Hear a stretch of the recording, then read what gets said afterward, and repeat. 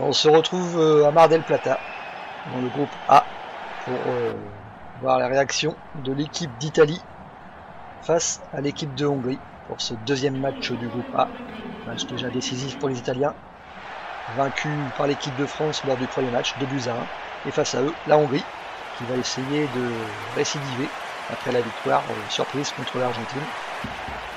Attaquant Torodzic est aligné, espère bien poser des problèmes à Dinosov et sa bande. Et la première occasion, elle est bien sûr italienne, avec Benetti, qui tente une frappe, largement à côté du but de gauche L'équipe italienne qui domine légèrement dans ce match et qui va se faire surprendre à la 17e minute de jeu. Balle pour Torodzic en profondeur, il s'avance, il fixe, le tir est croisé, petit filet, et Torodzic, Andras Torodzic, qui marque là son troisième but du tournoi en deux matchs.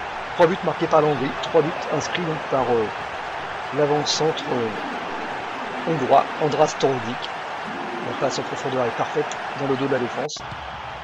Et voici donc 1-0 pour la Hongrie qui continue de surprendre. Et les Hongrois vont se faire surprendre également par une passe magnifique de Betega, une passe en pivot pour Gradiani. Gradiani qui résiste. Petit extérieur du pied dans le petit filet, un partout. Lui aussi marque là son second but. Et voici, l'Italie, donc euh, qui revient à un partout dans ce match. on respire un petit peu côté italien, en tout cas la passe de Betega en se retournant en aveugle est parfaite.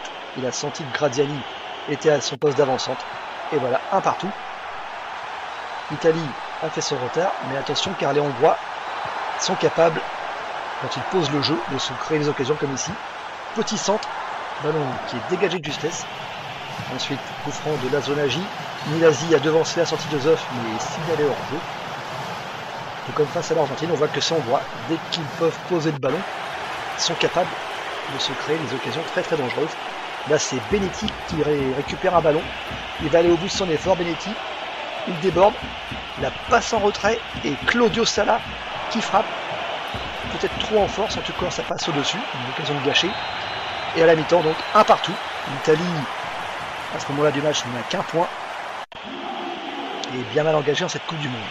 Seconde mi-temps, Benetti, Paolo Rossi qui a fait sa, son entrée à la place de Graziani, qui n'a pas démérité, mais un peu de sang, un peu de sang frais. Et vous allez voir que là, c'est par contre un défenseur qui donne l'avantage aux Alliances, c'est Claudio Gentile, monté aux avant-postes et qui là profite de une situation un peu cafouilleuse devant le but pour euh, mettre un plat du pied. Allez, corner, le ballon dégagé, Benetti est au, au contre, le gardien sort et Gentile en profite. 1, 2 à 1. L'Italie prend l'avantage. Enfin une équipe italienne conquérante et qui essaye d'appuyer un peu plus sur l'accélérateur pour se mettre à l'abri. Moment de panique dans la défense hongroise. Tardelli récupère, frappe de Tardelli et bel arrêt de Gougelard qui s'est bien détendu. Toujours 2 buts à 1. L'Italie tient le match, mais doit se montrer méfiante face à une équipe hongroise qui ne démérite pas.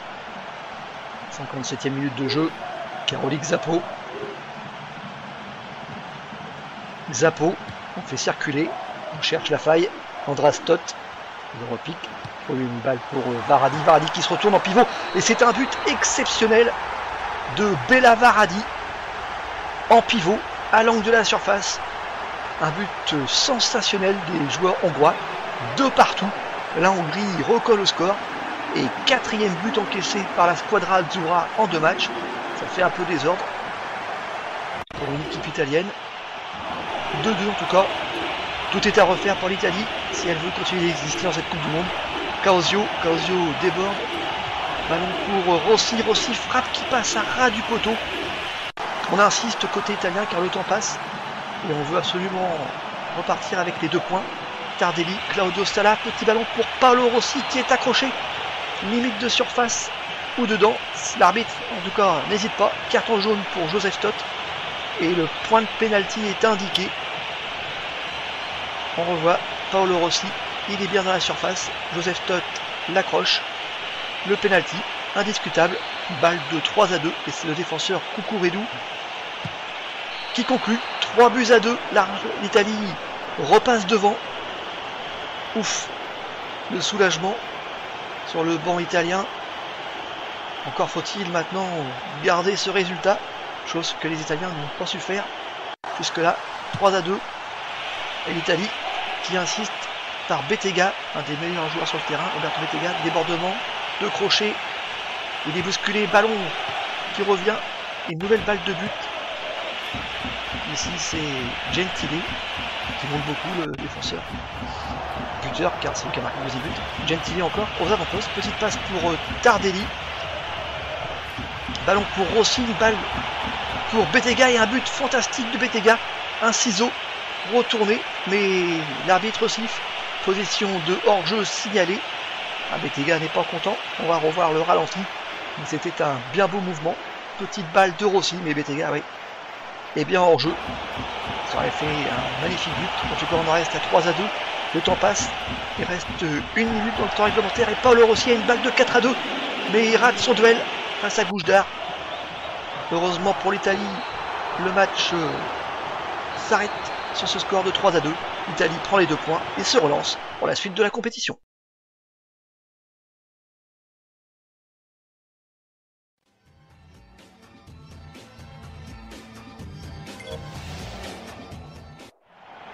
Buenos Aires, le Monumental pour le match entre l'Argentine et la France.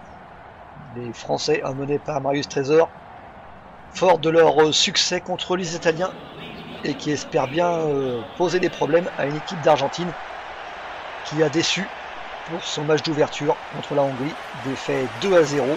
Le pays n'est pas content, le général Videla non plus. L'Argentine doit réagir et cela doit se faire aujourd'hui face à l'équipe de France menée par Michel Platini. Et la première occasion, elle est française. Un mouvement de Didier Six Ballon pour Michel Platini. Et là, Michel Platini qui ouvre trop son pied. C'était une balle de 1-0. On va jeter une chape de plomb sur l'équipe euh, argentine. Les Argentins réagissent avec Mario Kempes qui tire. Ça passe au-dessus. Luque ensuite s'essaye également à une frappe au 25 mètres. Également au-dessus. Les Argentins ont du mal à pénétrer dans la surface française. Plutôt une bonne chose qui prouve la solidité du duo Rio-Trésor. Ici, belle occasion pour Bernard Lacombe. Malheureusement, il lui manque quelques centimètres pour pousser ce ballon au fond des filets.